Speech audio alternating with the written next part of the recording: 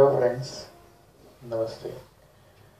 Gift through KP astrology क्या हम cafe astrology से ये देख सकते हैं कि किसी पर्सन को throughout the life gift ज़्यादा रिसीव होगी या वो ज़्यादा गिफ्ट्स देगा तो जब गिफ्ट्स की बात होती है गिफ्ट्स रिसीव की बात होती है तो देखिएगा, अगर नेटिव के बर्थ चार्ट में ये combination second third six and eleven मतलब अगर maximum planets two three six and eleven houses को सिग्निफाई करते हैं तो वो person now and then gifts receive ज़्यादा करेगा। मैक्सिमम प्लैनेट की बात कर रहा हूँ।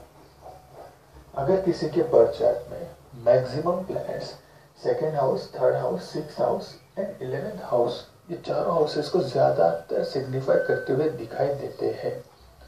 तो कंक्लूजन पे आप आ सकते हो कि वो पर्सन अपनी लाइफ में, अभी और बाद में फ्यूचर में भी गिफ्ट्स को ज़्यादा रिसीव करेगा। अब आपके मन में सवाल आएगा, क्या हम ये देख सकते हैं कि वो गिफ्ट ज़्यादा देगा?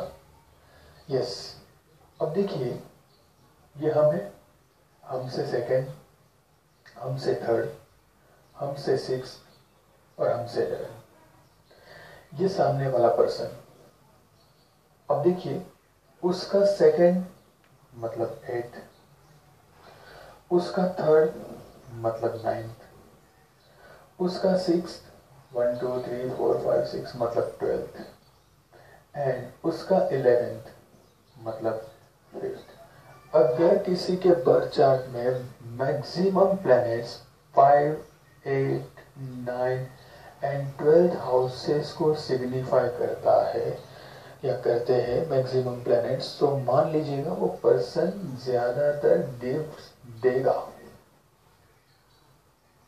और अगर मान लीजिए ये दोनों टाइप के हाउसेस मिक्स्ड दिखते हैं दोनों दिखते हैं।